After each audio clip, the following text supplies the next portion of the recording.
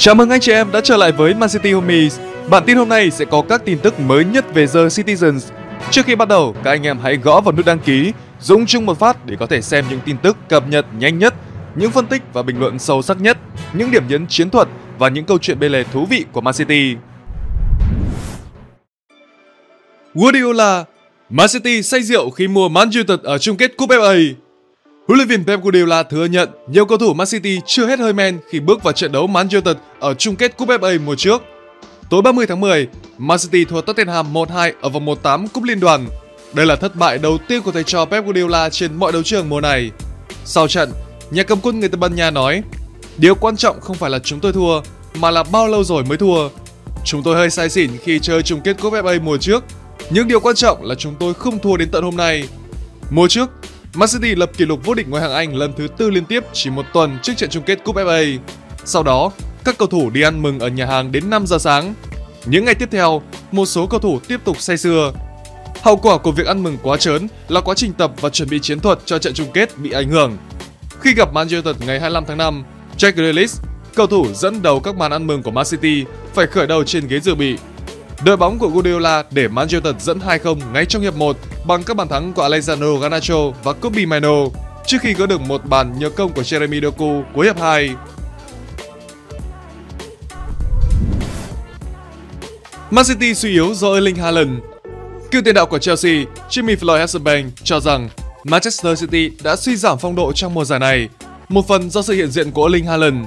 Mặc dù The Citizens hiện là đội duy nhất ở Premier League chưa thua trận nào và đang dẫn đầu bảng xếp hạng trong hành trình chinh phục danh hiệu thứ 5 liên tiếp, Hasselbank nhận định họ không còn áp đảo đối phương như trước. Cựu cầu thủ người Hà Lan chia sẻ với Lucky Block Tôi nghĩ nếu Arsenal hoặc Liverpool muốn giành chức vô địch Premier League, đây là năm để họ làm điều đó.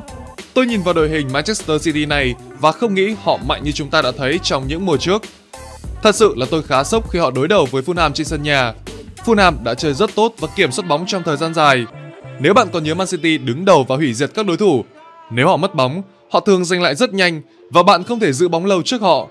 Khả năng pressing của Man City từng rất tốt. Tôi không biết liệu các đội bóng khác đã cải thiện hay City trở nên yếu đi. Tôi nghĩ là về sau, bởi vì họ có Haaland và Haaland không pressing nhiều. Dù họ đang đứng đầu bảng và có chuỗi bất bại dài, tôi không nghĩ họ mạnh như trước đây. Hiện tại, Man City dẫn đầu bảng xếp hạng Premier League với 25 điểm sau 9 trận, hơn đội xếp thứ hai là Liverpool 1 điểm. Cuối tuần này, thầy trò huấn luyện viên Pep Guardiola sẽ có cho mình chuyến làm khách trên sân của Bournemouth.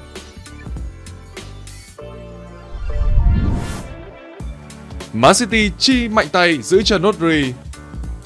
Theo Cadena Ser, Man City ưu tiên trói chân Rodri bằng một bản hợp đồng mới trước khi mùa giải 2024-25 khép lại. Đội chủ sân Etihad nhận thức được sự quan tâm của Real Madrid đối với chủ nhân của quả bóng vàng 2024. Vì vậy, họ muốn hành động nhanh chóng. The Citizens tự tin rằng Rodri sẽ chọn ở lại Manchester thay vì chuyển đến Real Madrid.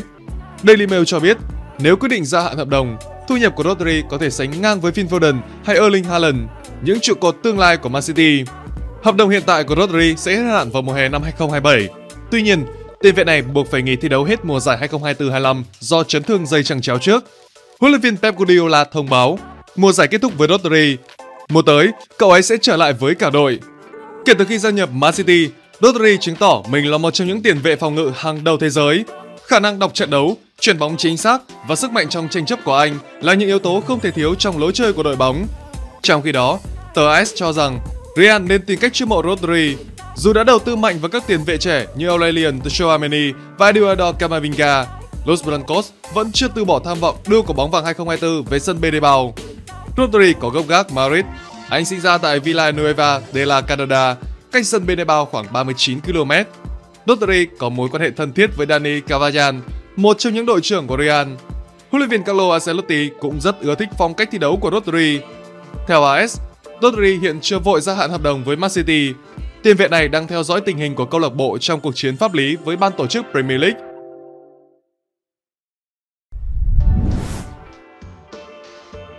Josko Gvardiol lên tiếng về chấn thương gặp phải.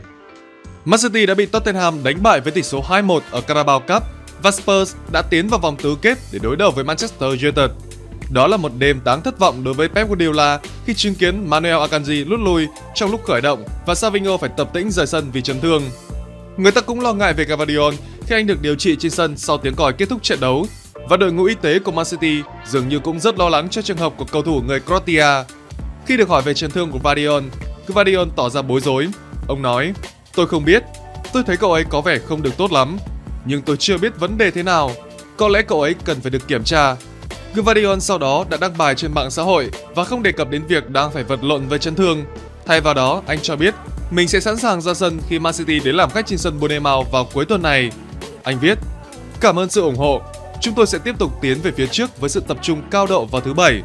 Đội hình của Gvardiol đang rất căng thẳng khi Rodri và Oscar Bob phải ngồi ngoài vì chấn thương dài hạn, trong khi Kevin De Bruyne, Jack Grealish, Jeremy Doku và Kyle Walker cũng phải ngồi ngoài.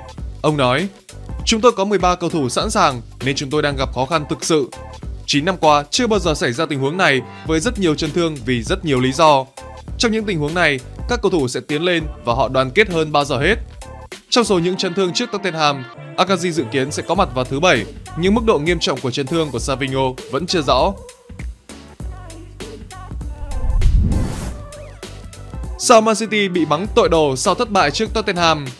Ngôi sao Manchester City, Phil Foden phải đối mặt với làn sóng chỉ trích từ người hâm mộ sau màn trình diễn nhạt nhòa trong trận thua Tottenham tại EFL Cup.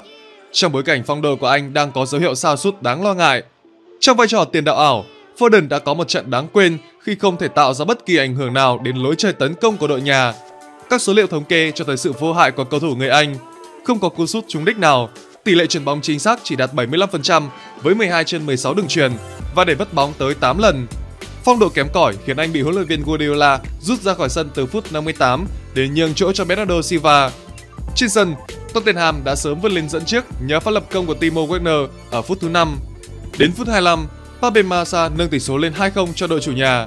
Dù Matheus Nunes đã có bàn rút ngắn tỷ số cho Man City ở phút bù giờ hiệp 1, phút 45 cộng 4, nhưng điều đó vẫn không đủ để giúp đội khách tránh khỏi thất bại.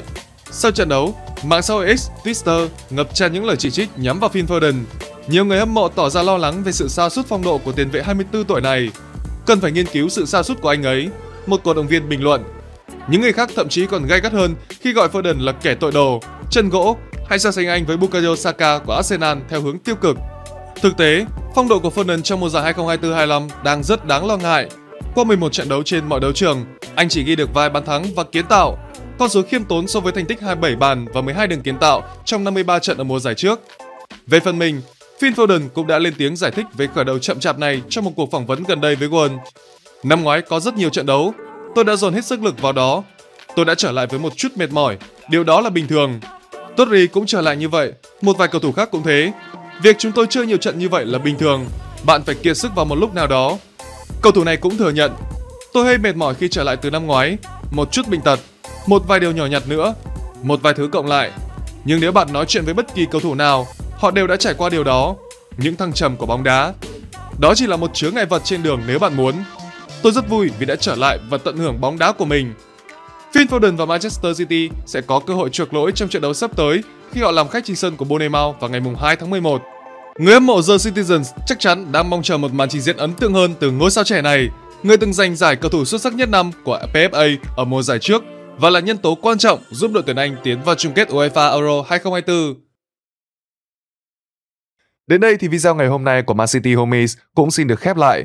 Nếu thấy video này hay, hãy gõ vào nút đăng ký, dùng chung một phát để anh em có thể xem những tin tức cập nhật nhanh nhất, những phân tích và bình luận sâu sắc nhất, những điểm nhấn chiến thuật và những câu chuyện bê lề thú vị của Man City. Duy nhất chỉ có tại Man City Homie thôi nha.